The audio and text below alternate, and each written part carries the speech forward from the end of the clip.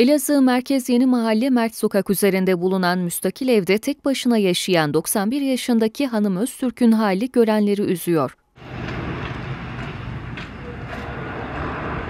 Yaşanacak gibi olmayan derme çatma bir evde kalan 6 çocuk annesi Öztürk adeta yaşam mücadelesi veriyor.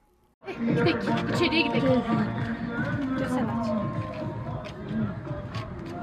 Kulakları duymayan ve bir gözü de görmeyen yaşlı kadın komşularının yardımıyla karnını doyuruyor. Tek istediği duyabilmek için işitme cihazı olan Öztürk, kendi halinde yaşamını sürdürmeye çalışıyor. Çocuklarının ilgilenmediğini dile getiren mahalle sakinleri, yaşlı kadının daha iyi bakılması için yetkililerin harekete geçmesi gerektiğini ifade etti.